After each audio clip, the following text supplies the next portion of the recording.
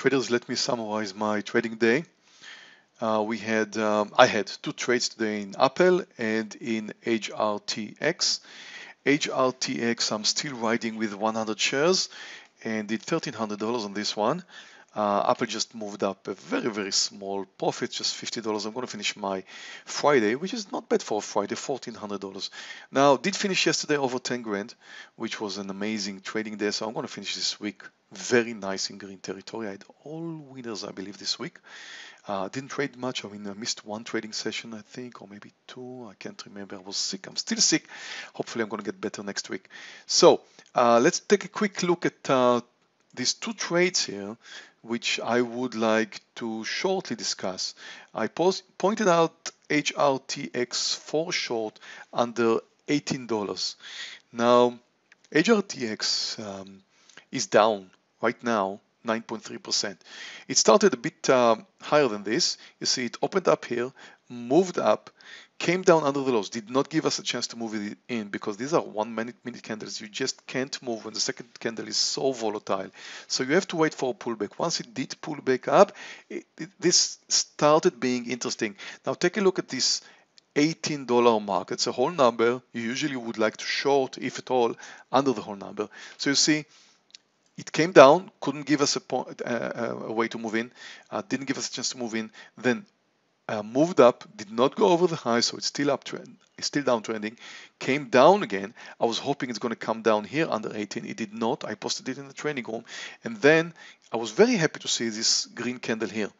The reason I was very happy to see this green candle here is because it gave me a chance to add to my quantity. Because you know HRTX had the opportunity to move up over the highs but it did not. It came down and did go under 18 which means this green candle here is a failure to move higher. That's another indication that the stocks really wants to come down. Now that's also a therapeutical uh, therapeutics company. That means that it's very volatile love to trade these stocks although again it's a little bit more dangerous than usual. So I was looking at this $18 mark, I took it. You may remember the following. I said once we traded, I, I mentioned that I'm a bit worried about this red candle. You know, this red candle took us all the way from the highs. You see, you can add to this red candle, this topping tail. This started really here. So it started in the previous candle and it continued in this candle. So in one point something candles, it came down all the way to 18 and continued. Why was I worried? I like to see a stock coming down gradually through my through my um, trigger point. You see, this, for example, here looked perfect. It came down, moved up a bit, came down again, consolidated. If it would have came here under 18, that would just be a regular trade. But it failed to move higher, which is where I would like to add more size, and I did. I started with 4,000 shares and I added 2,000, therefore I shorted it with 6,000 right over here. So once it came under under this 18 point. I liked it. I kind of assume it's going to continue down under the lows, which it did. But I was a bit worried because this very big red candle is an indication that things may, you know, that I have to go through a pullback. And I did. So you see, that was the pullback that wasn't very far from taking us out of the trade. I mean, it's still downtrending, nothing wrong about that. We should have remained. There was a spike here Another one that took us up, just one minute candles. You may remember I mentioned that if we're going to move over this recent high, I'm going to be out. We did not. We came down again and finally had a beautiful winner. Uh, it took it a long time. It found some a lot of support here at uh, 1785, which was the lows, but once it finally came through, it gave us a, a very nice trade. So I didn't really like that trade too much based on the results because I was hoping we're going to get a quick move and a quick partial. It took way too long for the stock to come down under the lows, but you can't complain. The stock is trending lower, has done anything wrong.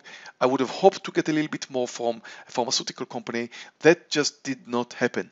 But one more thing, if you take a look at this red candle, the reason I said it's it, I would expect a pullback is because just take a look at the previous candles. You see, that's here, from here to here, that's a behavior of this previous candle. If I'm going to count the cents, you're going to see it's almost the same as this one, meaning that's the personality of this stock. That's how much it can come down. And usually the personality continues. Now take a look at this candle here, although that was only the second mini candle, so it may be a bit tricky. But again, the personality of this stock is just like the second candle, the fourth candle, and then this candle. I just didn't expect it to break down another 30 cents and give us the partial we so wanted to get before it pulls back up. So I kind of knew I was expecting it, I didn't know, but I was expecting it to pull back and that we will have to survive a pullback. I mentioned that in the room and hopefully you survive this pullback with me and therefore had a nice trade. Uh, second trade today, this $50 winner I had was Apple, which was extremely annoying.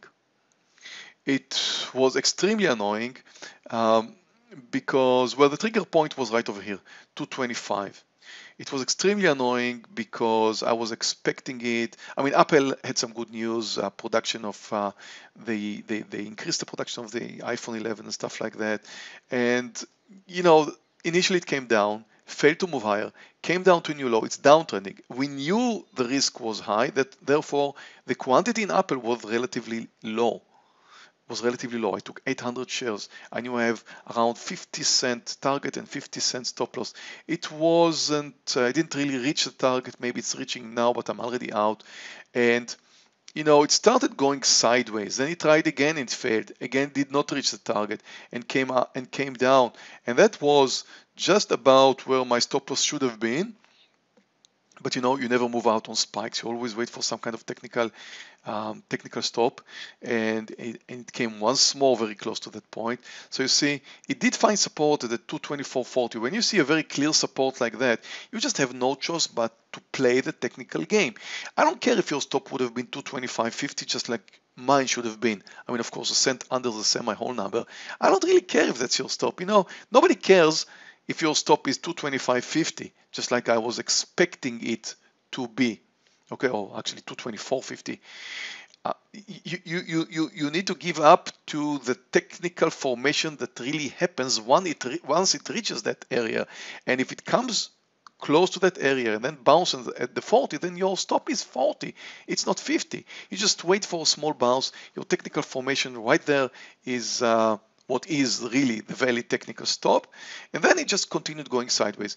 I took the chance where it moved up a few cents over my entry point, took um, $50 profit and moved out.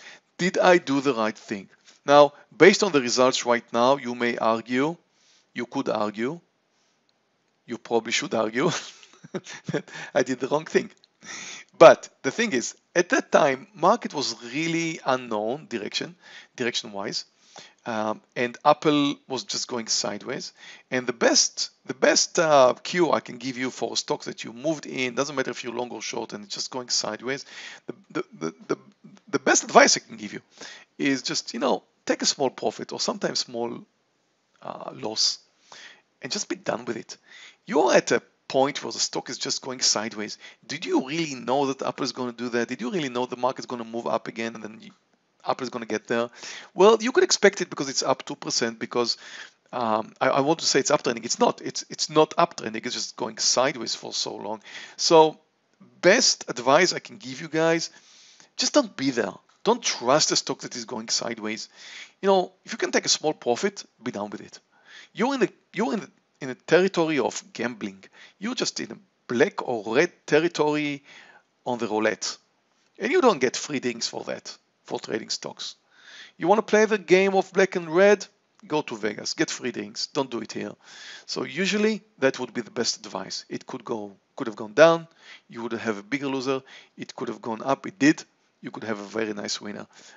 I just didn't trust Apple. I didn't feel like being a gambler. So that's it, traders. I'm gonna finish my day up uh, $1,400 and I'm happy for the day and for the week. And I want to thank you all for being with me today. And um, if you're on YouTube, don't forget to give us a thumb up. That would be very nice of you. That would help our, our channel. And don't forget to sign up for some of our free, free services. And um, all of you guys in the main trading room and in YouTube, have a great weekend. Enjoy your weekend. And um, I'll be very, very happy to trade with you next week. So see you next week. And uh, just enjoy your weekend. Spend it with your family. And don't spend your money too fast. Thank you guys. Thank you for watching our video Before you go, we invite you to join the TradeNet trading room for a free 14-day trial. TradeNet has educated more than 30,000 professional traders worldwide since 2004, and its trading room is one of the world's leading trading communities. Click here to start your free trial. If you like this video, please subscribe to our YouTube channel where you can view many more stock trading videos. Questions or comments, please submit them below.